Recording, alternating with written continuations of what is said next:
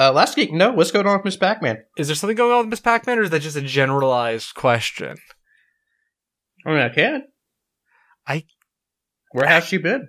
Yeah, I've only played Miss Pac. Yeah, where is Miss Pac-Man? I've only played Miss Pac. Last time I played Miss Pac-Man was when I was like 11 year old, 11, 11, 11 years old at a. Correct me if I'm wrong. mitzvah. She's she's not even a scan like a skin for Pac-Man and Smash, is she? No, let's see. Uh, apparently, Oh, uh, the rights with Miss Pac-Man is so weird and has gotten weirder recently. Hmm.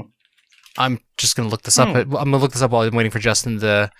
Uh, This is pro- quality pre-show entertainment. let's see. Uh, September 20. This article's from September 27th from Ars Technica. The rights to Miss Pac-Man are caught up in a messy legal battle. Mhm.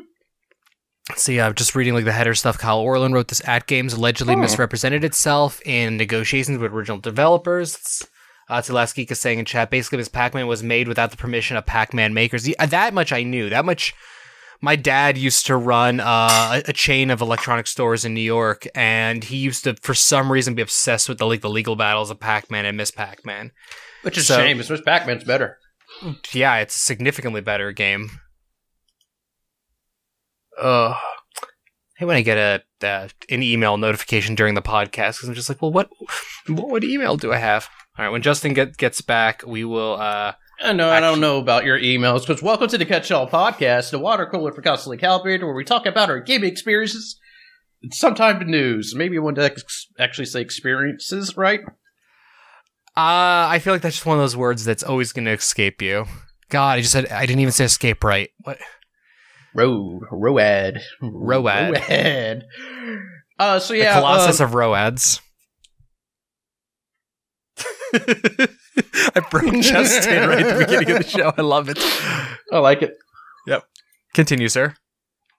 Uh, we're gonna jump right into what game you play. D- Um, Did you actually intro like us as people? No. Um, hi, I'm your host Justin. Uh, howdy do, and also have my co-host Josh here. Howdy do. we're we're in a mood, people. Um, I just finished the job interview, and again, Justin was eating a pot pie uh, because he got distracted. Uh, and yeah, and- and Last Geek, this is actually the podcast. For those who may have missed the pre-show, I don't know if this will make it into the proper edit. We were discussing the rights to Miss Pac-Man uh, while we were waiting for Justin to finish his food for the live show. I think it should, but though, I mean, what would you know entice people come to the live show if they don't get that sweet, sweet, and no one comes to it anyway. so, so yeah, put it in there. Uh, plenty of people are here. Well, Uh, last geek's here, but Last Geeks, you know, we have people. People come in. Uh, okay. no, I don't think it's enough to bring people quicker. No, not necessarily. Not. But here's the thing. That's what I bet last geek. Here, I put it into the edit, and with a little thing that says, "Here's the special peek of what you could have seen if you watched the live show. Come back next week, and you won't see this." No. Uh, All right, let's Josh. talk- you know let's, what? Let's talk what you play. say, you know what game I play? Um, I want to know what So game you could- play. Uh, this is gonna be like a catch up for the past two weeks, which you had to skip last week's show because my internet service provider dropped the ball or shit the bed, whatever you want to say they did. They dropped Actually, the shit in not- the bed. Might not have been their fault, but I think it is. Anyways, uh, so yeah, I rolled credits in Borderlands Three and haven't touched it since. That's sounds like a Borderlands game to me, honestly. There's a reason why I haven't touched it since. All right, we'll me get hear. into that later. But yeah, uh, the kind of uh, a couple things with Borderlands Three. Um, one uh, for like I do applaud it for its uh accessibility with co-op. Okay. Sorry, uh, accessibility might not be the right word, but kind of is, kind of isn't. Uh, that like you could just jump in at any time, and the person playing with you can, you know, stand fight. Like they're not going to be hiding in the corner while you destroy everything. Like everything like levels to them, everything levels to you. Like uh, if you're fighting a level thirty thing, you're fighting a level thirty thing. If they're level five, you're fighting a level five thing, or taking out level five damage and dealing level five damage. Uh, there is an actual option to switch it to classic Borderlands mode, where it will get the person uh, more experience, but it does not level to them. Okay. Uh, so it's kind of cool to do that. Here's the thing I screwed up with Borderlands. So the equipment upgrades, like the your equipment slots, uh, weapon slots, uh, shield, and well, not early. That part doesn't matter.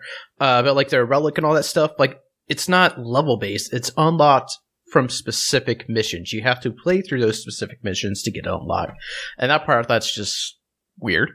okay.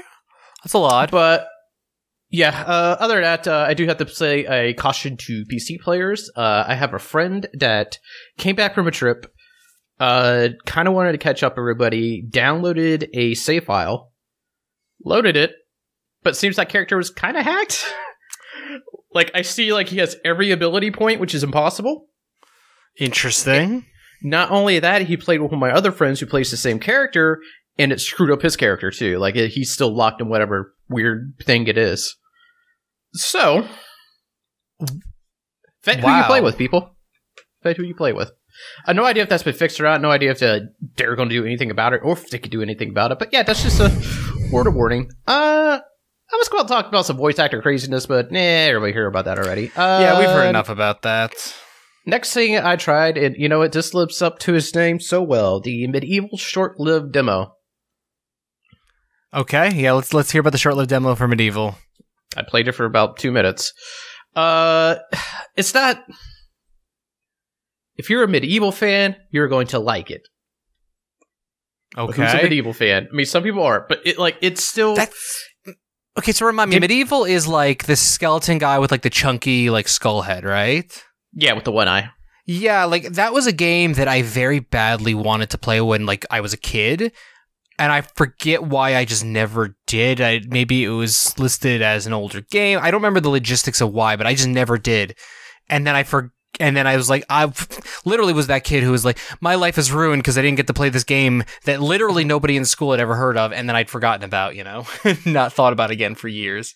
Yeah, it's Not, just, not saying anything negative against the game. I'm just saying, like, I was very surprised when I saw this on the doc that this was actually a thing that, like, a recent thing. Yeah, I, I mean, it looks great. The short-lived demo, it, they call it that because that, like, that's the actual name of it. Uh, because it is going to be there for a limited time. If you play it, you get a special item in game or helmet. Um, but yeah, it still plays like an older game. Um, like you can tell that this wasn't made in this generation or the one before it or the one before that. Mhm. Um, so yeah, that's that's kind of my issue with it. Uh, it's a great for people who haven't played it or did play it and kind of miss it. They're probably gonna find some enjoyment in it. But I just I was playing it. I was like, eh, there's just other things I could play. So I'm like, I just turned them off, and that is it. so Josh, I'm about to like just throw some straight up hot diarrhea out here. Do you want to get in before that? no, I'm scared now, Justin. I don't even know what to do with that. Too late. Marvel Ultimate Alliance 3 got its updates. Ha! You can wipe up afterwards. Uh, What the fuck? so yeah, uh, I want to talk about this a lot last week, and I played a lot more last week. Not as much this week, but uh, they got their Curse of the Vampire update. Uh, yeah. Now there is a Hey, at least, free- hey, at least you're bringing it up, and it's not just for the 18th week in a row. Justin happens to have played this game. It's actually there was a DLC and information and new stuff to potentially talk about. No, that's gonna be Gundam. Now we'll get to that later. God Um, damn it!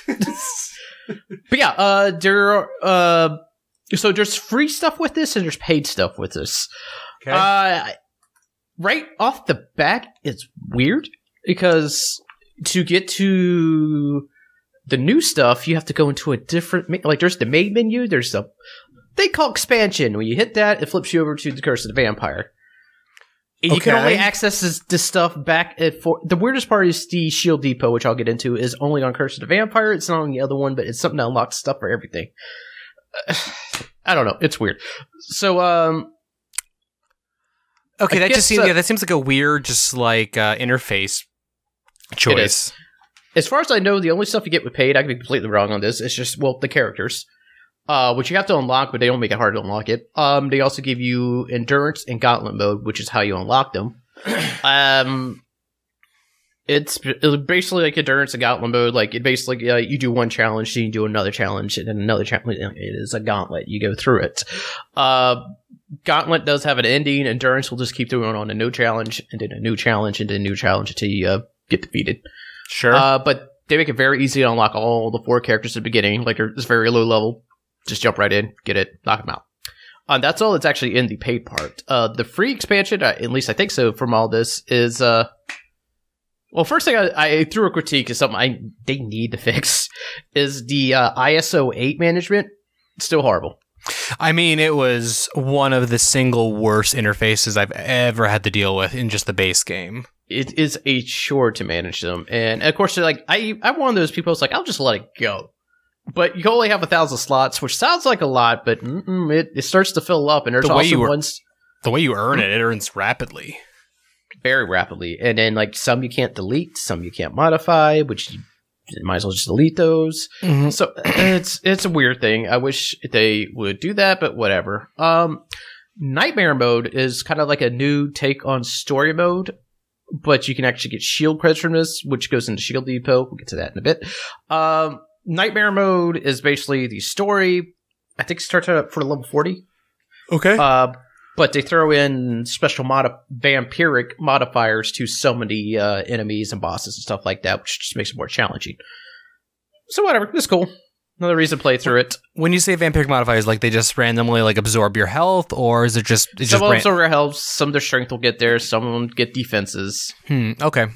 They just throw vampiric on it. It doesn't make sense, other than it goes with the theme. Uh, As one does.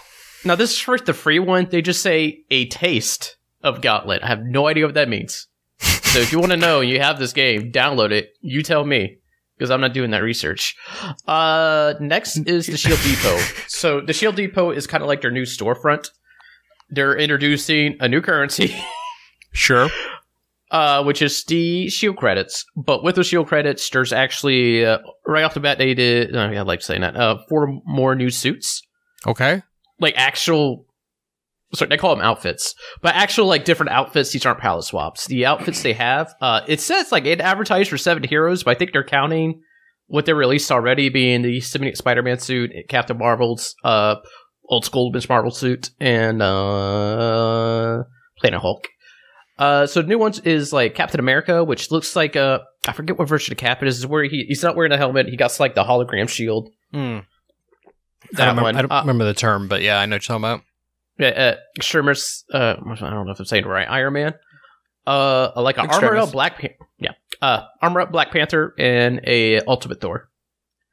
So those are new ones in the thing, which you can buy through your hero points, but you can also buy them new voice lines. Uh, and other stuff really doesn't matter. Just more little things to earn. Um, but also with the Shield Depot, you finally have a use for credits. Uh, Dun like, dun dun. I was saving up millions and millions, and I don't have like over a thousand at the moment because you can now buy the uh, mid tier XP cubes. Okay. So yeah, that's nice. Uh, other than that, um, they added like other hexagons to the big hexagon hero upgrade, whatever alliance system. Uh, one of them very nice. Uh, being hey, you don't suck as much power from people who fly, which I don't know why just flight takes energy. Yeah, it's, it was weird always that that was the one that took energy and nothing else really. Yeah, teleport doesn't take energy. Nope. Uh, I mean, Moon Knight he typically he glides. This doesn't take energy, thankfully. Hmm. Uh, but yeah, other than that, level cap up to 150. Uh, this update, I have no idea what it means. Adjustments to behavior during co-op. So I don't know if you just got different options to say. I doubt their voice, but whatever. Hmm. Uh, and also you cannot play in multiplayer rooms. You're using an earlier version, but meh. And that's about it. Uh, the new characters are awesome. Uh, I enjoy playing all of them, being Moon Knight, Punisher, Morbius, and Blade. Uh, they like they're not like reskins of other characters. That was what I was unique. being my question. I was like wondering if they were actually reskins or they actually felt like pure new characters. They feel like pure new character. Well, as much as a pure new character as you can in that an game. Ultimate Alliance game. Yeah, yeah. You know what Uh, I mean. So yeah, I'm enjoying it. Uh, gives me more reason to play it. I won't go on any longer than that. I, Josh. I mean, yeah, that's fair enough. Unless you have a question, feel free to ask your questions. No, I think that covers just about everything. I mean, I. Part of me wants to play this more, and the other part of me is like, I really, I, I don't. I'll play it with you. I know you will. That that doesn't didn't really necessarily entice me. I, Man, there's got other stuff I'd rather. That wants to. Sh- That stuff I'd ra- There's other stuff I'd much rather play with you than just have you smash your Hulk Well- into me. That doesn't sound like a fun time. But uh, what Marvel Ultimate Alliance came to me, like uh, Greg said this one thing. We're both broken people for this. He's like, "How are these awesome games? There's Untitled Goose Game, Zelda, Sayonara Wild Hearts. And I think I'll just grind the same room over and over in Marvel Ultimate Alliance. and that's how I feel every time I look at my screen. But to be fair, like, uh, I mostly get my Switch playing time at work. I have like an hour lunch. It takes like, like less than 10 minutes to eat. So I play 50 minutes. Just, I want something mindless, something I don't care if I'm hearing or something like getting a full experience. That's what Marvel Ultimate Alliance for me is that game just to distract me for a bit. Hmm. It's also one of those games like if uh, you want to grind stuff out, just throw a good podcast on or something like that. Still play it and be fine. So no, it's definitely good for that purpose. I will agree. During podcast editing, it was always enjoyable to play. It's one of the definitely one of the better podcast editing uh, games I've dealt with in the last year.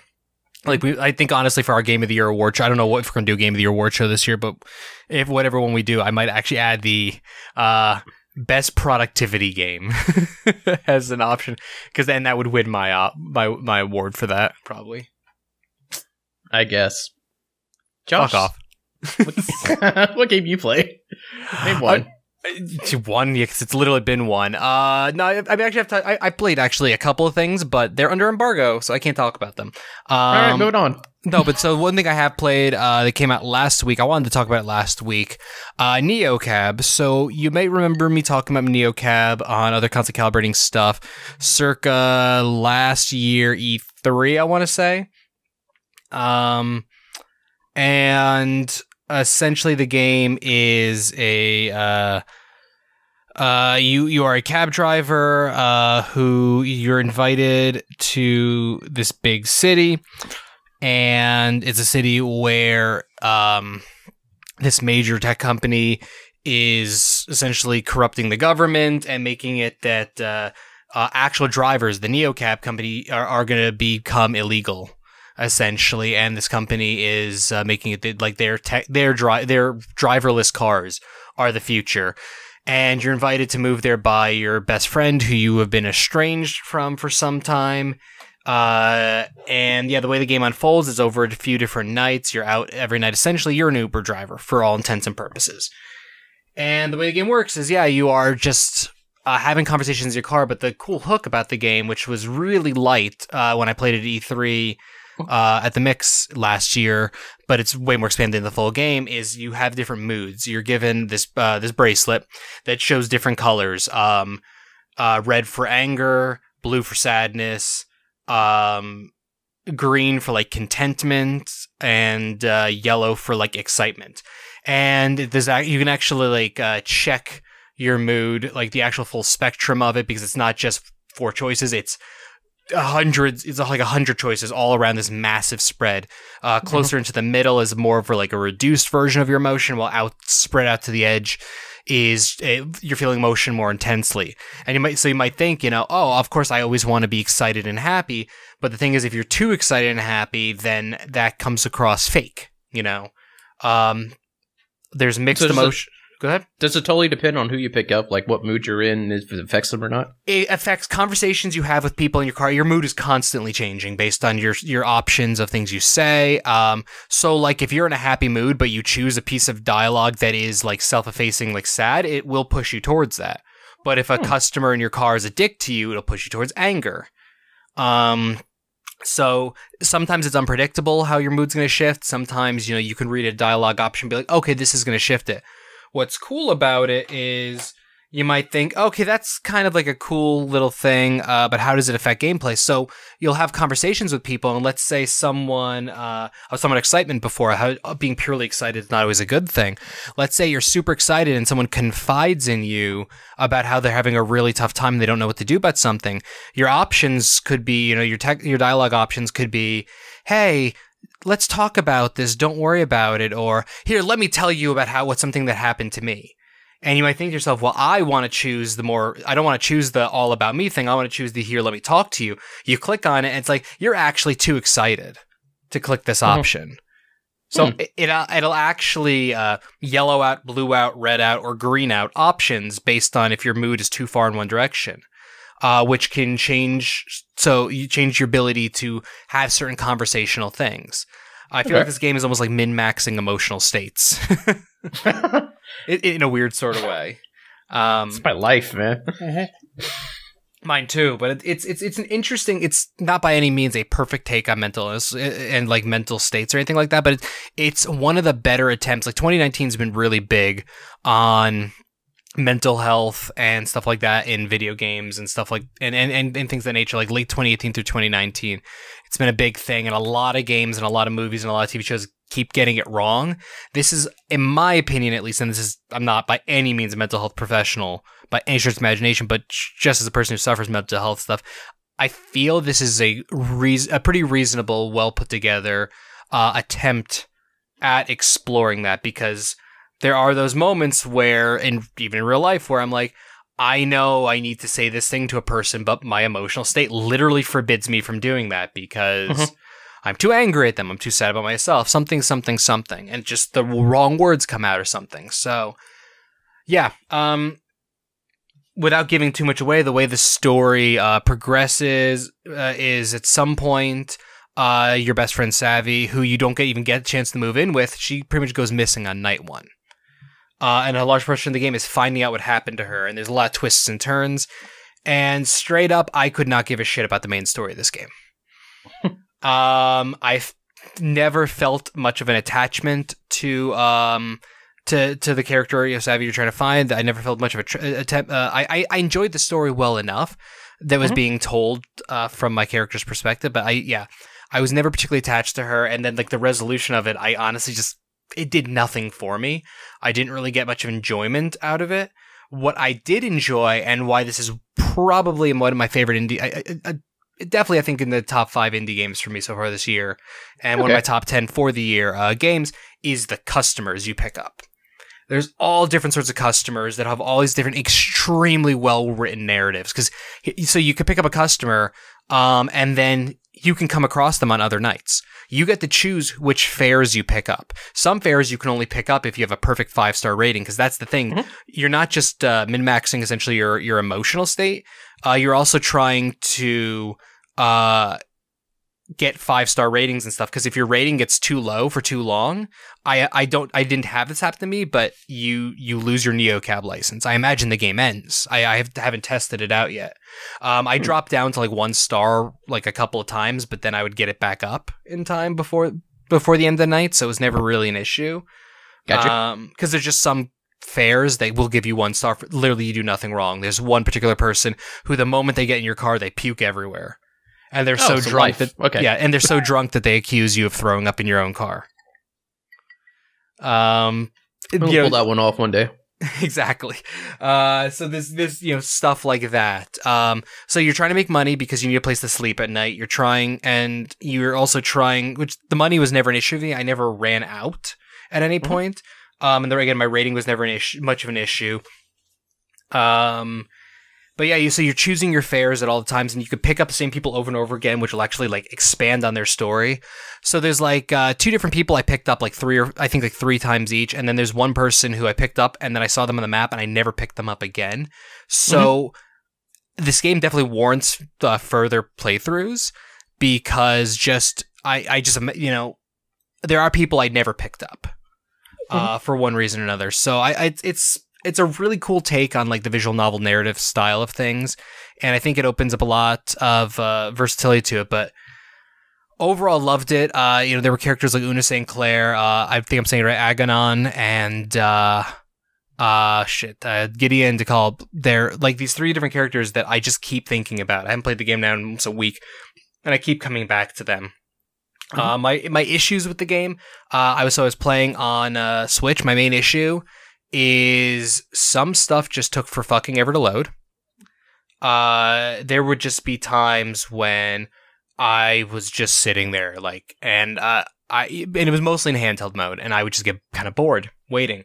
Other things, uh, dialogue, it lets you set the speed that dialogue stays on screen and how fast mm-hmm. it like unfurls. The thing is, it sometimes doesn't matter. I had it on the sl- I had to put it on the slowest setting in the end because it was the only way to keep the the dialogue windows would just sometimes just disappear. Uh, hmm. It would like click through without me having to click or anything like that because it auto it's always auto going, but it would sometimes just click through the next thing before I had time to read it. And I'm a quick reader, like things with like I don't know three four lines of dialogue would just be up and down, like maybe maybe half a second. And I'm not sure if that's a glitch or something happened in the game, but in a narrative based game, that's extremely frustrating to not be able to read everything. I just had a thought. Sure. It has nothing to do with this, kind of. Are people like advertising? I'm going to teach you how to read quickly. Like, what over kids? I imagine for you too, you see those commercials. Like, Sure. let me teach you this secret reading technique where you like trim the page or something like that. Why is that not a thing anymore? Like, I thought was just like I remember seeing that. I was like, I want to take that class 'cause I'm a I- slow reader. Because I think that was turned into be a bullshit technique. I don't think. it is a Uh, bullshit technique. um, well, I'm not a slow reader. I just don't comprehend what I read. just difference. Well, that's the thing. Um, I remember in my computer class, we would play these games. They were all about testing how fast you could read. And I would, these were my favorite games growing up. Were these ones where I was absolutely obsessed with, and I would compete against other kids. And I was the fastest reader in all of seventh grade at uh, Ripple Middle School. Thank you very much. Uh, about it. but I was very proud of it. I could not tell you if I retained anything, but I could read faster than anyone. Um, Nice. and yeah, it was an absolutely useless fucking skill uh, whatsoever. I think there's, I think there are definitely things that uh, teach you to read with better, like essentially not read faster, but com- comprehend faster. I just don't know where that. I don't. I don't see it adver- but I don't see anything advertised in the same way as as I did when we were kids. yeah. Granted, we Get- don't watch TV anymore. Okay, go it. on. Sorry. getting back to it, just my so my final thoughts on Neo Cab is um I have a history of being very excited about games and anticipating games and then being disappointed, and I'm not disappointed in this game. I may not have liked the main story all that much. I may not have been attached to it, and I may not have uh, been fond of a couple of the bugs and quirks of it. But overall, it was a fun game, and it's one I am very excited to uh, check out again to see uh, like other op- uh, other directions the story can go. Talk to different people, and just see how I could change it up. Uh, see if there actually is a fail state, you know, for getting my rating too low. All those kind of fun things. So Hmm, okay. uh, definitely a fan. Gotcha.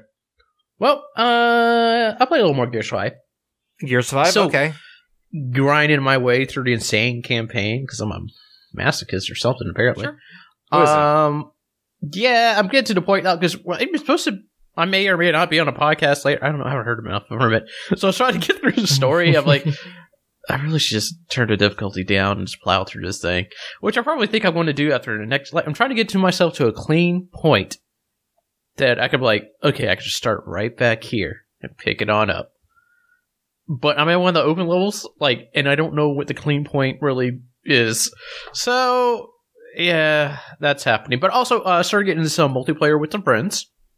It's good times. It is good, frustrating on ranked times. Hmm. Um, yeah, we were playing just arcade matches, doing really well. I played the game better than I think. Uh, and then we started like, let's try a rank, and we didn't. We are all holding off a rank forever because we wanted a full crew. Didn't get it. We got three, decided jumping in anyways. Immediately, those matches got more intense. Like it, it's noticeable people are not rushing in anymore, holding back, holding the line. Maybe one person tries to flank. Oh man, it just it turns to the whole gameplay into something completely different. It gets whew, just so much more zoned in. And then we did a ranking once. I got silver two, not great. It's like it's like the meh, you're there. Which I also hear silver two is like the hardest to get out of.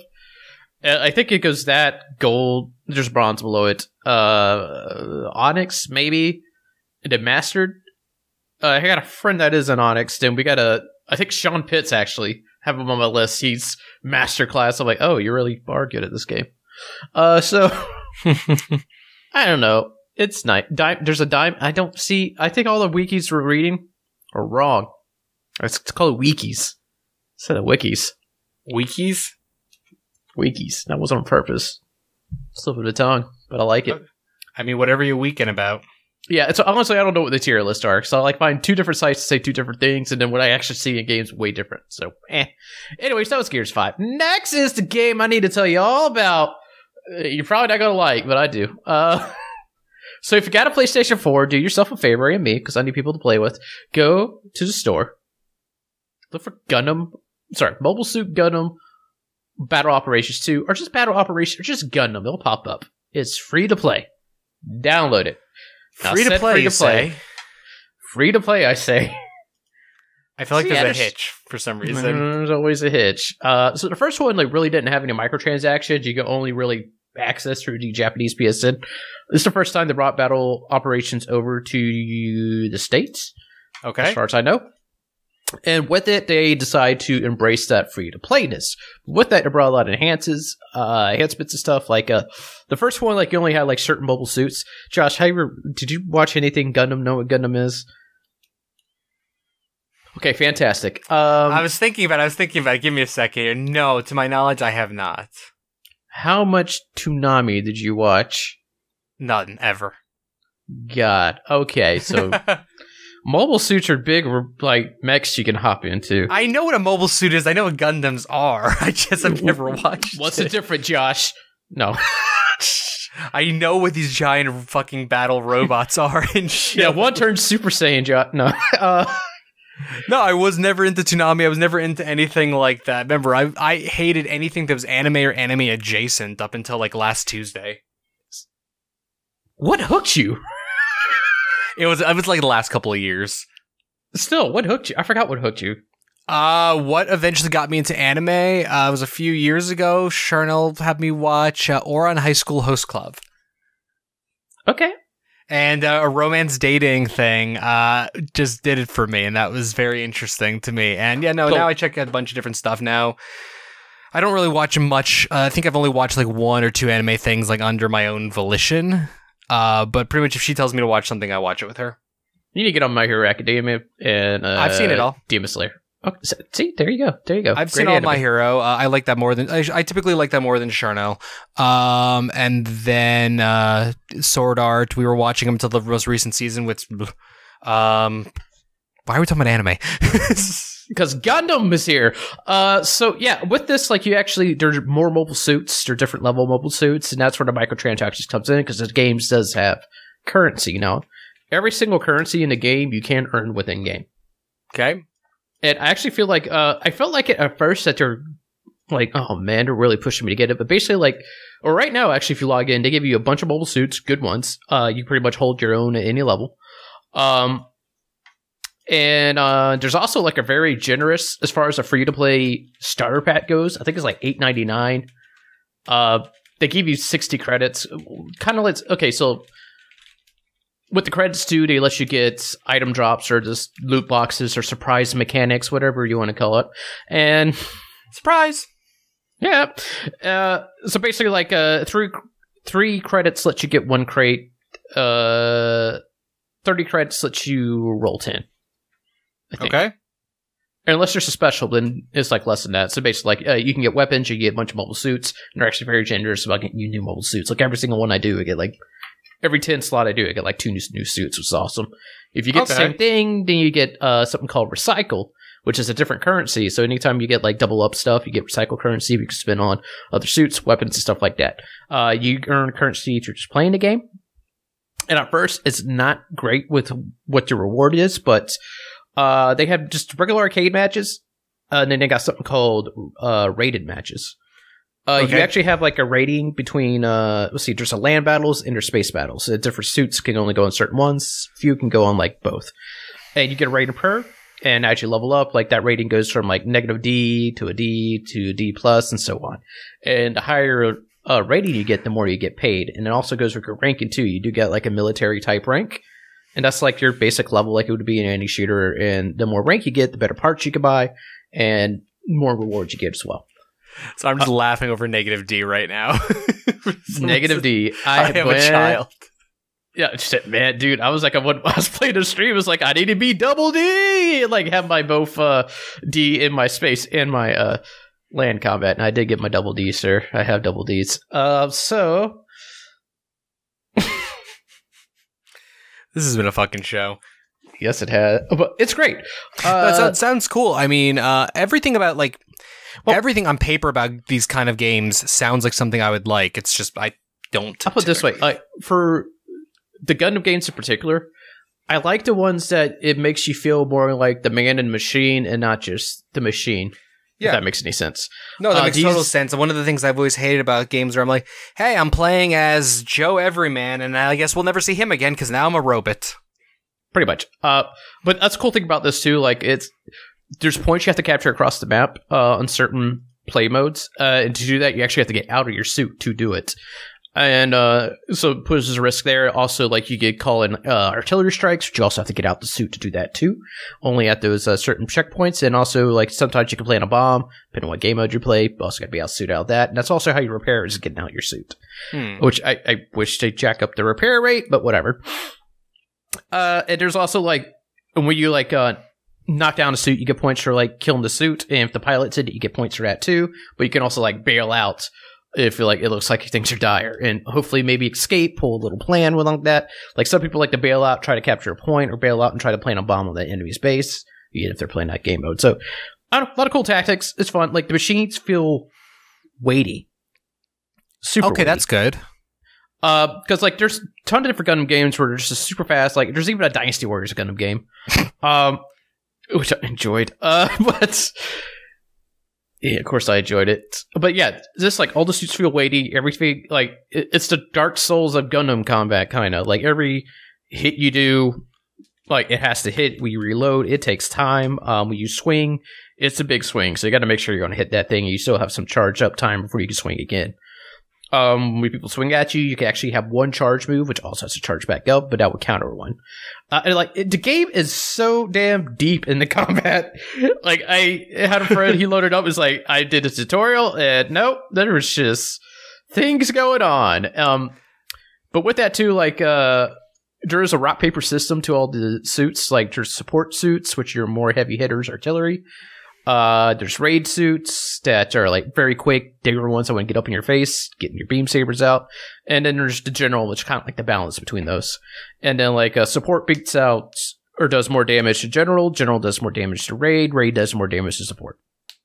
Okay. So you kind of got to pick your battles in that too. That said, a better pilot on support can beat out somebody that's not so great on raid. And even though like uh, some people can get an unfair advantage depending on their suits and stuff they pick, but if you pick the right thing or like if you get because I had one that was support, a raid came on, it was a higher level, instantly destroyed me. But I had the same thing when I went against a general, uh, that I just destroyed too. Uh, like you, you can hold your own. Some parts it feels cheap, but I don't know. It they do it better than most that try to incorporate gear within like a free to play game because you don't want to. Uh, and yeah, it, at some point you could be like, oh, you know, pay the win, but not really because the only thing you can pay for is the credits to unlock more loot boxes. Which sometimes you get a weapon, sometimes you don't. You can't buy like the store credit directly. So I don't know. Okay. That's my Gundam rant. Oh my I god! like I have to do my dailies every day, man. I've been on it. Well, now I f- understand why you uh, forgot to eat food before the podcast. Like I, I, had I to was get my dailies out of the way, bro. I figured you would talk about this for like a minute or two. I was not expecting this uh, degree, and I wouldn't actually expect also that I would be interested. You know, so uh, I, you know, I, I appreciate this. I appreciate this chat. I, I, I need. I don't know what they call them. Wingmen.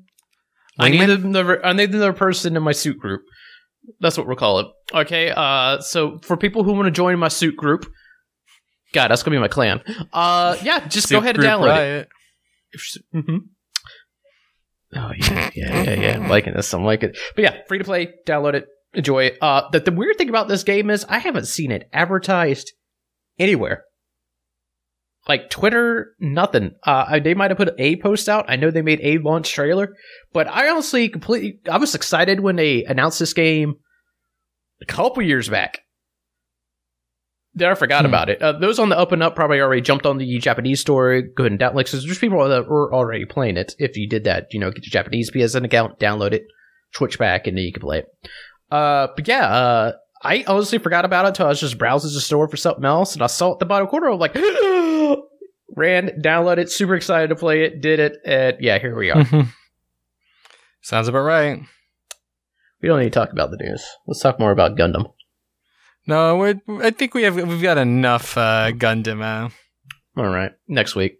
All right, so Jesus, is this what I have to look forward to every week on the catch all now? till I get bored of it. With you, that could be literally like tomorrow or in seventeen years, This is true. This is and, very true. and rarely anything in, in between. It's just this like exclusive Gundam Marvel Ultimate Alliance podcast. I mean, that's how the Fire Emblem show came to be, which we really need to record the final episodes of. Anyways, yeah, we do. Uh, so let's get into news. Uh, so this is the mix of stuff that's happened between two weeks. Let's get into. Uh, so like I wrote in here, the goose is loose. yeah, that was Uh, just an opportunity for me to just be like, just I think I was gonna slam my fist on the desk and scream honk into the microphone. Uh, so I was very excited last week to see that Untitled Goose Game, a game that uh, I had not expected. I'd not expected. Let's just leave it at that.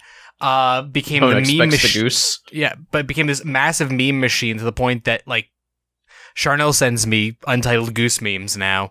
Um, and on top of that, it last week became the number one bestseller on the uh, Nintendo Switch eShop, beating out Link's Awakening.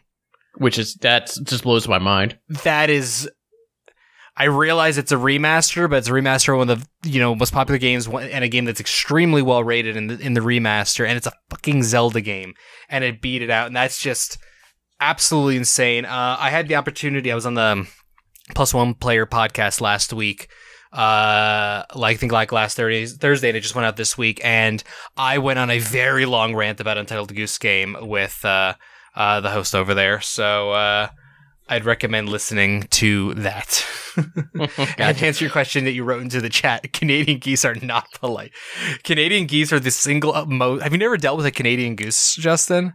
No, uh, are- not that I know of. I, I mean, I- geese. Every geese I meet or goose, whatever, is an asshole. So I just assume. So you mostly just dealt with the white geese, or have you dealt with like because king geese are the ones that are black heads and like kind of brownish No, uh, that's wings? that's what we got here. I think right. J- JP's lives in the area because that's pretty. Yeah. Much, we don't have the white geese here. We got pretty much that. Yeah, the one that I'm describing. He Like that's they, Canadian. they will that- pick a fight with you. that's a Canadian goose. Okay.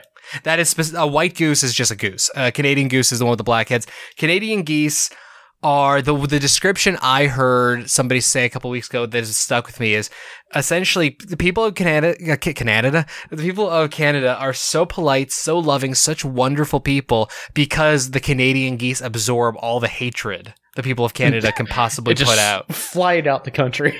and essentially just yeah they, they take it all out to keep the country uh, sane yeah no um i i when i was a kid i got when i was like four to five years old i was at the uh, stamford nature center and three canadian geese literally in a triangle surrounded me and were fucking honking at me and screaming at me before they charged me. And my mom uh had to literally punch a goose in the face to get it off of me.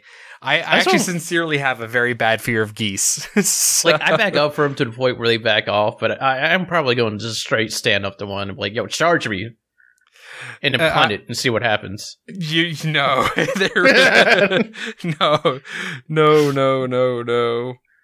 Oh Jesus! Uh, geese fucking suck, but They the do, game like- is awesome. I will never hurt animals and purposely hurt a person, no, but geese, I'm fucking thinking about it. uh, yeah, no, no. If the goose is thinking about, it, you better be prepared to at least kick it just to get it away from you. Uh, just quick question: Did you play through Goose Untitled Goose Game? Yes or no? I got through the first part, the garden. Boom. Um, All right. Uh, you, it. I played through it in one sitting. Uh, and I don't remember if we talked about it in the show, but it is a surprisingly beautiful experience. Yeah. Did you And- see and the I uh, cannot recommend the game enough. Kotaku article that somebody gathered every single item in a game and dropped it down a hole? Uh huh. yeah, they dropped it into the uh, into the canal. yeah, I mean, well, that was my goal was to capture every single person and lock them in the garage before uh, I just just could discover that it wasn't possible. So I finally managed to lock three people in the garage, and I posted that like three weeks ago, and it took until like yesterday. Or two days ago was the last time was people finally stopped liking it on Twitter. yeah, and we even talk about the memes they're doing. Like, there's Last of Us stuff, where it's like Joel, Ellie, the goose with the knife. The- Uh, putting the goose into other games is the best thing to come out of Yeah, Untitled Goose I like Game. the uh, Fire Emblem one that is drawn in the art style of the goose game, but the goose is Uh-huh. just taking all their weapons and running Love away. it. That's all you do in this game. You like, you just, you're a dick to everybody. You're just trying to screw with them, and it's But- great. It's fantastic. There's a reason for it though, and you do uncover it as the narrative unfolds. Is it uh, like? Is it a reason? Like you know, uh, Gear Great Solid stress five- reliever, uh, JP's by the way. Sorry to interrupt. Very Justin. super. when Metal Gear Solid 5 came out, Kojima said there's a reason why Quiet is dressed this way. is it one of those type of reasons? No. Okay. All I'm gonna say is at the very end of the game, I legitimately cheered in my bed because I figured out what the whole game was about. And it made me very fucking happy. And I, I cannot think of a game in 2019 that have made, has made me that happy. The game makes me happy regardless, so I can't wait till I get to that moment. No, Uh, it's, yeah- it's it's a lot of fun, and uh, I cannot recommend finishing it up. It's seriously, I think I I did it in one sitting, like just over three hours, and I took my time with some puzzles. Sorry, that reminds me of thing I said Nathan earlier today, not the Goose Game Kojima. Um, where he's like wondering if he wants to spend sixty dollars on Death Stranding, and I literally say, "Have you ever thrown sixty dollars blindly at a conversation piece?" I need to go follow it up. Just imagine you have the Death Stranding case, sit that on a coffee table, wait till somebody who doesn't know picks it up, and like, "What is this?" Didn't have Yeah. fun with it. See, there you go.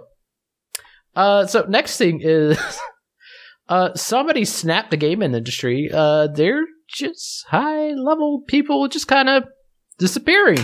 Uh, So first, uh, last week, if you haven't seen Shawn Layden, who was I forget his title, Give me a sec.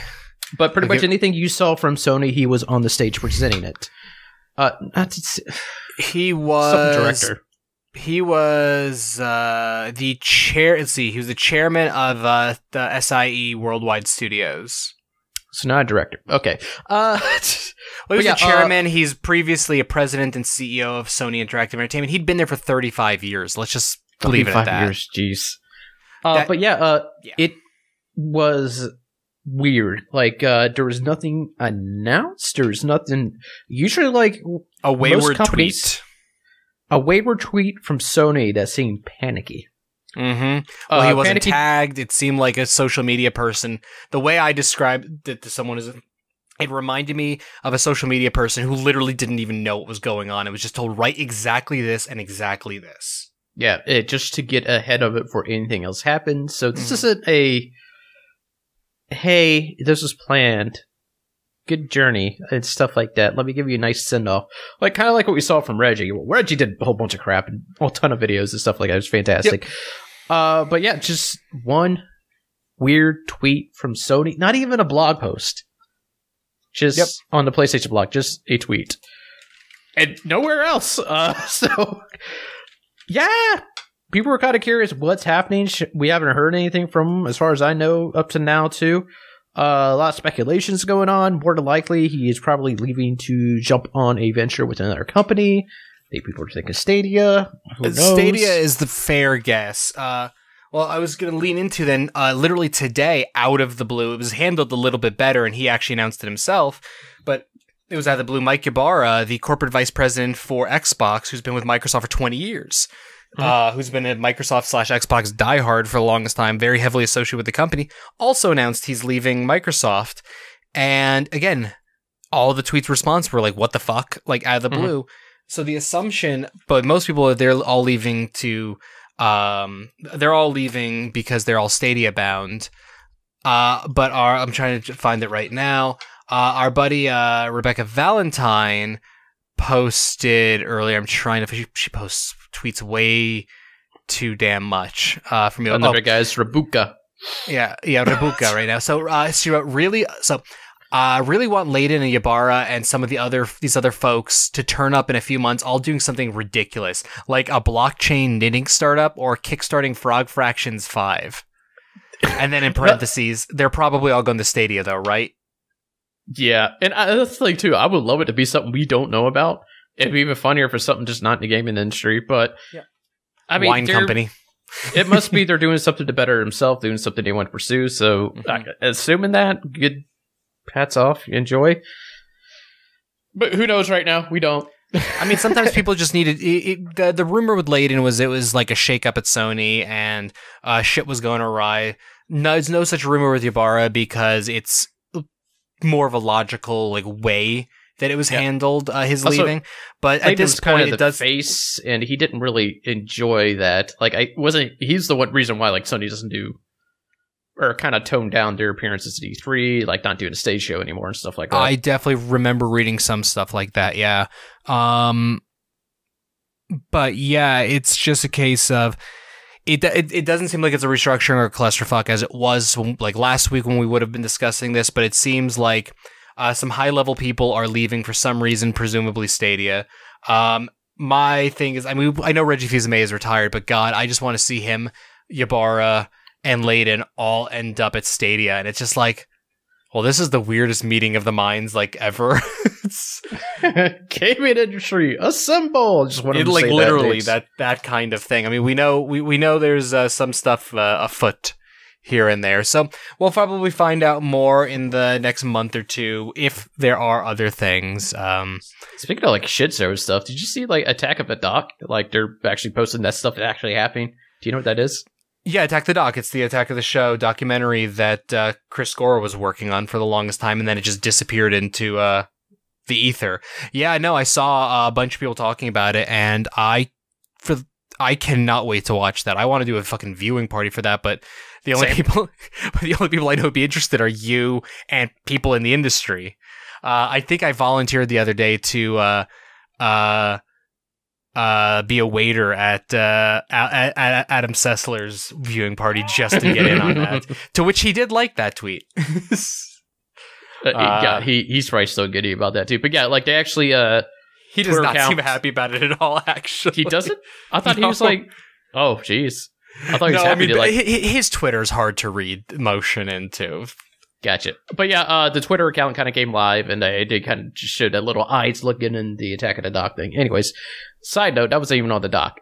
Ha. I mean, that, Uh, that's gaming adjacent. Gaming adjacent. Yeah. So This one, this one will be a quick one. Uh, Destiny Shadowkeep uh, dropped. Uh, if anybody's wondering what that means, is this is Destiny without Activision. This is just Bungie ran Destiny. Uh, this, eh, like most people, oh god, people give him such a hard time. It was on Dare not launch because, like, yeah, uh, they've done the launches before, but they also have been under Activision using Blizzard stuff for so long, and now they're kind of running everything on their own. I'm really curious how this back end is running, uh, how they're maintaining it. So yeah, of course, it's a rocky launch. Um, but whatever. Uh, from what I hear, like game's phenomenal. Uh, people are enjoying it. A lot of changes that people wanted. Uh, the coolest thing I just wanted to mention is the cross progression now. So uh, you have to log into Bungie. You have to link your accounts. Then when you link your accounts, it will pull like your if you did something on Xbox, PC, well, or I think they call it Blizzard Activision. Uh, pulls that up and then also pulls up your uh, PlayStation. Then you can pick which one you want to be your main linked accounts, and that's the one that the cross progression goes, and it is smooth. Like when you um, once you link, like it actually you actually link your Xbox and PlayStation accounts. So when you log in on PlayStation, there's no signing in. It just it it that it pulls your stuff. Uh, if you played primarily on PC, had every achievement unlocked, you'll just see uh, trophies pop, pop, pop, pop. Same pop, thing pop. we do on the Xbox too, and that's why they pop, pop, pop. It pops. it. Uh, so yeah, it's cool. Uh, so I, I've been thinking now's the time to get into Destiny, but I'm also thinking, is it? Uh, I want to, but don't have the time. I want to as well, and I don't have the time, and I keep considering it, and I'm just like, no, no. Yeah. So speaking about not having time for stuff, uh, Red Dead PC was announced by Rockstar Out of the fucking blue. that we all know was coming, but out of the blue. And when is it hitting? November. I had the date. I just lost it. Fifth, November fifth. Not only that, uh, it's coming to the. Uh, you can buy it from Rockstar with their new launcher, which their launcher I think just announced uh, released today. Um. If you uh, pre-order with them, the game well it hits November fifth. You also get a ton of pre-order items, and you can pick two Rockstar games between I think it was like Bully, Grand Theft Auto Three, Vice Stuff City, that most of San us Andreas. probably, stuff that most of us probably already own on Steam and other platforms, mind you. But Yeah. in case you don't, yeah, they, you get to choose two of like six different games. And then I think it's a free upgrade to the limited edition or the digital limited edition or something like that. Yeah, you could do that. Like I, the uh, that one is uh, I think seventy nine ninety nine. You get more stuff for um, I thought it was. I thought it was just the Oh, no, pre. no. no, no Okay, pre-ordering gives you an upgrade. Pre-order is a uh, your standard edition. That's your standard price, fifty nine ninety nine. Uh, you get uh, bank robbery missions, gang hideouts in story mode. I don't know. I guess you're talking about multiplayer, but I'm not 100 percent sure about that. Uh, okay. Uh, horse, Doubleback Thoroughbred, some outfits, gameplay bonuses, loot, stuff like that. Uh, there is an Ultimate Edition where you also get all that, which you can get for seventy nine ninety nine. Later will be ninety nine ninety nine. Uh, you can get bonus outfits, uh, free Survivor Camp theme, rank bonuses, Black Chestnut Thoroughbred, and as I said, everything is in the special edition already. Uh, and plus D2 Rockstar Games, no matter which one you pre-order. So, uh, I actually was not, like, I was going to hold off for Steam release, which the Steam release is going to be a month later. Because the Grand Theft Auto launcher was horrible. Like, every oh, time yeah. I'm in the mood to play Grand Theft Auto 5, I hit the launcher and there's like a 10 to 20 gig update. I'm like, well, I guess I'm not.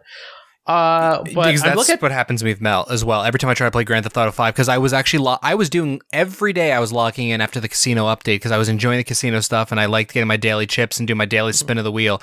I did that for two whole weeks, and I was like, it takes me longer to get into the game than I'm actually playing the game. Yeah, but now they actually made a legit game launcher for Rockstar. Yep. Uh, as far as I could tell, yep, it'll keep your stuff updated. I just launched Grand Theft Auto 5, making sure I didn't have an update and already took care of it. Uh, so it takes care of it as in, like, you know, you load up Steam and it starts downloading all your stuff. Yeah. Uh, one thing I don't see is a place to tell me where to I download my games, so I'm trying to figure that out. Cool thing it does do though, like if you have stuff on Steam, it will also pop up in this library. Like I have Max Payne and Bully Scholarship Edition. It's like, oh, hey, here's the link, play on Steam. So it's a good place to just, it's a collection of your Rockstar stuff. Uh, better than I thought it'd be. Pretty cool. Uh, That's only awesome. thing in the store is, oh no, I lie. It's Red Dead Redemption 2, but you could also get pretty much all the games are giving you for free. Uh, well, if you get it. And plus, of course, shark cards. Fair enough. Yeah, no, as far so a quick thing, a uh, technical note. Uh, the lag, if anyone's seeing between both of us talking and uh, visual, if that's happening, uh, Discord's being a bitch. Sorry, Discord's yeah, been really fussy lately with that kind of stuff. Uh, and so anyway, sorry. Uh, I was going to get much. like uh, real quick. What could uh, recommended spec? Well, I was just going to say on Grand Theft. I'm sorry, Red Dead Redemption uh, uh two for PC. Mm-hmm. It's also coming to Stadia. They announced, right? Yeah, uh, yeah. it'll become Stadia. I think day and date. I, I thought it said day of launch. Uh, for uh, which we don't actually know exactly. What, uh, but anyways, um, I thought it said Wednesday's launching. It's going to be on there. Um, but yeah, I was it, it will uh November uh, as a launch title for Google Stadia. So when yep, Stadia there. launches, yes. Yep. So yeah, that's what I thought I read. Uh, as far as like PC goes, um, Justin and I have been going back and forth on if we would pick it on PC because we both want to do online. We enjoy PC, but uh, Ryan, uh, uh, Ryan, first member of our team, he made a mm-hmm. comment on Twitter that stuck with me that the last couple times he tried to play Grand Theft Auto Online, the the hackers and stuff were driving him insane. It, he clarified it wasn't just like the people who you know who were uh, doing ran you know like random things, getting unlimited money and stuff like that. It was the people who were literally clicking a button and setting every player in the server on fire and killing them.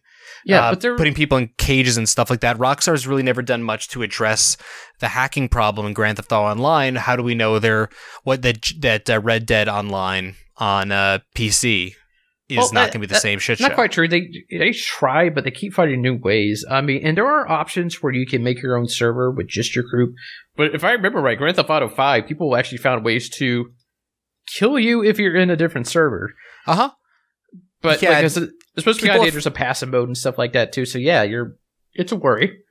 Well, passive mode didn't do anything for the particular issue that Ryan's talking about because literally people, uh, when we were doing one of our streams, uh, he literally got locked into an invisible cage of fire.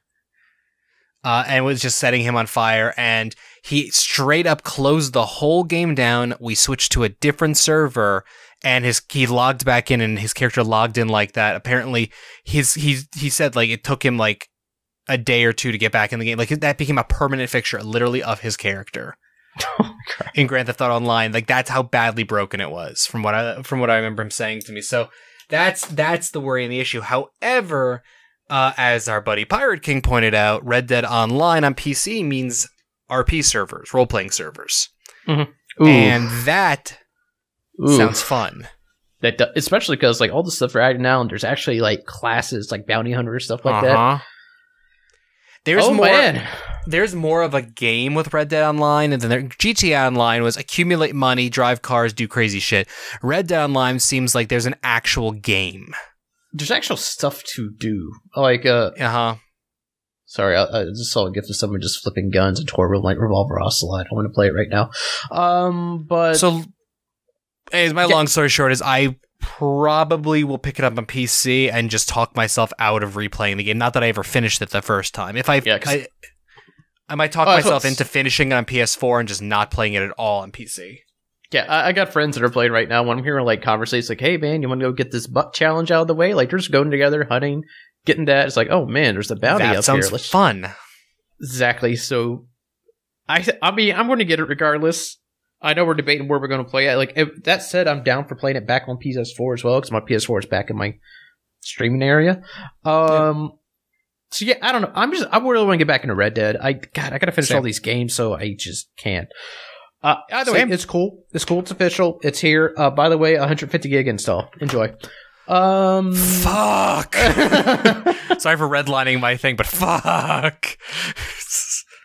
as far as like the demands for the game, not much different than Grand Theft Auto 5. I think uh, i7. This is recommended at minimum. Uh, i7 4770K. Um, AMD equivalents Ryzen 5 1500 uh, X. Memory 12 gigs of RAM. Uh, graphics card NVIDIA GTX 1060 at 6 gigabytes. AMD Radeon RX 480 at 4 gigabytes. Honestly, spec wise for performance, not terrible. Uh, No. But that hard drive space, 150 gigs, have fun. I feel bad for all y'all data caps that want that. Oh. okay. Uh, and the final thing on our news list, speaking about just silent drops coming from Sony after silent drops From a- coming from Rockstar, uh, I mean, it was just literally a wired exclusive for this next thing. exactly, uh, a tweet to a link to a wired exclusive detailing the PlayStation 5. Uh, oh, I say detailing, lightly detailing the PlayStation 5. Which, from what I'm reading about, I haven't been able to get all the details, but it seems like Sony uh, Interactive Entertainment, uh, Europe, and possibly I think it was Japan had no idea that this was happening. That the Wired Really? has an exclusive. Uh, yeah, only apparently America, the American company made side of Sony Interactive made Grant, a I- choice. I think, I think PlayStation actually is right out in the States, though. I might be wrong on that. It is currently, I believe. But the, the- so yeah, but the thing is, whole arms of Sony and Interactive Entertainment who are working on the PlayStation Five had no idea. Apparently, that's what I'm reading. Uh, a few different places talked about that uh, So- earlier today. But PlayStation curious, Five has been officially like is, revealed. is that a knee jerk reaction to get the, like leaks are happening, get this out? But they, no, they gave a they gave Wired an exclusive detail. Uh, like yeah, this wasn't a leak. This wasn't a leak, a knee jerk reaction to a leak. This was a planned thing that wasn't communicated within their team. If assuming that is true. Uh, uh, pretty much, if you're wondering what the PS5 is, it's kind of like what the PS4 is. Is a more of a PC than what a console used to be. You're seeing more common parts related to more PC parts than you are uh, to the like, exclusive, you know, cell processor. Uh, they're still using teraflops. That's not a thing. I don't care what you say.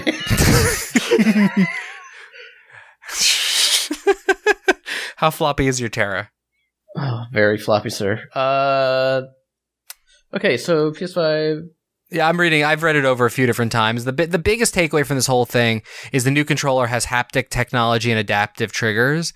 Mhm. Um, and the the adaptive triggers are actually bothering a lot of our friends who uh, do accessibility stuff because it seems like they're right now people are trying to find out are they is a disableable feature? Because people with uh, accessibility issues can't sometimes necessarily you know d- deal with that. It's either Yeah. it's essentially the trigger's either in or out. They can't like adapt you know the, you can't uh, do the precise movements and stuff like that. So I, i'm curious about the accessibility of this stuff. They haven't really said much of that but I mean, the the idea of the controller sounds interesting. Uh, it's going to be backwards compatible. I saw a bunch of people asking, and no, it won't happen. But is there a place to put my? Uh, they said it's fully backwards compatible. Is there a place to put my Vita games? a lot of people are asking. It's like no, there's not. How Uh, dare you even put, question that? Other big thing is it's going to have an SSD. I can't find anywhere that claims the size of the SSD, No, and I can't I've imagine it up, it's yeah. not going to be larger than terabyte. Which really, with how again uh, how big game installs are getting, a terabyte is not enough. Yeah, that is a think- that is a joke. Let me see, a terabyte. Um, and then otherwise, um, I was just going to give you an idea what it. Uh, really quick looking. Uh, terabyte SSD runs over actually less than I thought, but uh, they uh, very very very cheap ones about in the low hundreds. Uh, generally you'll see about 130. uh, That's Mm. usually on sale. Uh, so they're not cheap. Um, other than that, it's kind of a I forget how much RAM it has. Like it has a bunch of RAM action in it actually. Uh, Mhm. But the game uh, also is going to have a 4K uh, Blu-ray drive. No reason why the Pro didn't have that, and Xbox One X did. Um, but uh, with that, their uh, game disc are going to be able to hold uh, 100 terabyte for like uh, physical media, which is weird. They're actually boasting that part since we're kind of like edging on to that digital streaming side of things. But that was the point Sure. they made. Uh, and it's going to be capable of ray tracing, which I can tell you as a PC player, uh, depending exactly what it's doing for ray tracing, that's demanding. Um, if you want proof, go play Control and PC and turn on ray tracing. See if you can run that game. Uh, good old ray trace. good old ray tracing. No, also, uh, the charge cable it's going to use, uh, USB C. Thank Happy God. about that. Please gotta let that battery last longer than 80 minutes. I don't That know if that's also- how they rise, but the like PlayStation, my PlayStation 4 controllers just die. Mine aren't too bad. Uh, mine don't die that quickly, but I also don't use them probably as much as you do. So Yeah. Yeah, speaking of which, Uh, I need new ones. I like. I was like, man, why am I getting dead zone? Like, by the way, I need definitely need one because I, I got the point where like I'm in a dead zone. Of, like, if I go to the top, the top left there, my character will walk, stuff like that. And this one I dropped in. There's something that keeps getting under the R1 that sometimes it works right, but other times it doesn't. So, uh, yeah, then I realized how old they are, and they're as old as my first PlayStation 4, the my launch PlayStation 4. No, I lied. One of those came with the Pro. I mean. I, I've got this one. I've got these are my PS4 controllers. I got the anniversary one and the God of War one. I'm about to go get like the crystal one, which is god awful. Like, well, it's not that bad, but like I saw it on markup, like a marked down to like 41 bucks at Target or something like that. Hmm. Anyways, that's beside so, the point. Uh, the, I was to say the last thing on the PS5. I think last thing is that it's coming out holiday 2020, which is what we already assumed. Uh, uh, I'm really since that cat is out of the bag officially now. And yeah, officially the PlayStation 5. I mean, that wasn't a stretch to guess what that would be. Um, hopefully, maybe it'll start talking about, oh, now here are the games we got. And I got, I blunt, announced PSX. I loved PSX. I want another one. That would It's be so lovely. fun. I would like to go to PSX good. after Like, hearing you talk about it. oh focused. It's just I can actually play things, even though there's media, so I can play them anyways. But like, if I sat in line, I could realistically play something. It's just good. Like, it's just a combination of people enjoying PlayStation. Also, if you're a esports fan in the fighting game community, they're also doing like Street Fighter tournament stuff there too. Mhm. Um, pretty cool stuff. Uh, it was it was an awesome event. There's something big that happened there. I can't remember. Whatever, like a, a, a dumb performance or something. Uh, I know DJ Cutman was tearing up one of those rooms. That was awesome. That was awesome. JP is what I'm talking about. So, yeah, um, that I believe is our show for today. I think we actually got through everything before the hook came and pulled me out of the room too. So yeah, that that Da, da, that da, da, da, da. Wom. Yeah, my body's Uh, officially dead and mush now, and I also I want to get back to Gundam or something. Uh, so yeah, that is all Yeah. today. Uh, so where you can you catch us? Of course, Twitter slash Concal Pod tells you all the stuff constantly calibrating's up to. We just launched, not launched, uh, released uh episode 300 of the Constantly, Cal- po- Constantly Calibrating podcast. If you want to know who we are, where we started, where we came from, that is the one to view and or listen to. It's a great show. It, it's definitely, and um, what I after editing it, and listening back to it, uh, I was worried it wouldn't be accessible to people who watch the show currently, and it's actually totally accessible. The way we talk about things, it's not inside joke heavy or anything like that. It it it's definitely the history of us and uh, the individuals who have been showrunners on the show. Um, as far as Con- Constantly Calibrating podcast goes, also episode 301 featuring the guys from Shot Call, which is a really cool company. Uh, some really and some really cool guys. That comes out Friday. I'm putting out two episodes this week because 300 was supposed to go out last week, but it was a technical nightmare yeah. and edit. by the way, uh, two ninety nine was also a great show. Recommend it. We've had a lot of great shows recently. Wasn't that the one we're drunk on? No, 299 was with Khalif. 298 was the Khalif was a great Com- show. Honestly, But 299, everything 298. Okay, yeah, we've been putting out some bangers lately, dude. I think 295 onward has been pretty phenomenal of Constantly Calibrating podcast. Everything since we've been back has been great, but 295 onwards been pretty much so if you're somebody that's like just jumped, like this is your first experience of constantly calibrating, don't start at one, start at 295. just keep going from there. and then make a decision if you want to go back and listen to any other shows. I will go ahead and make that decision for you. No, no, uh, actually, uh, kidding. We do have great shows. Uh, There's good stuff in there. there's some great gems in there.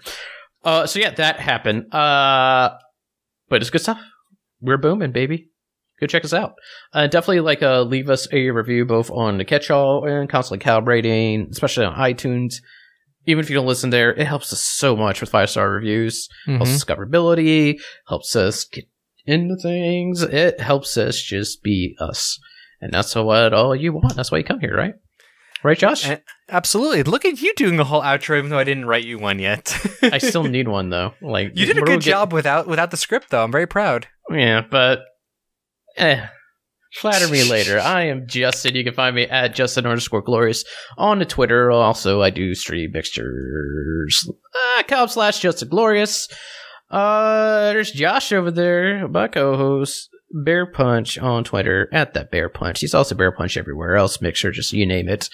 Just pretty much. Bear Punch. Shut up.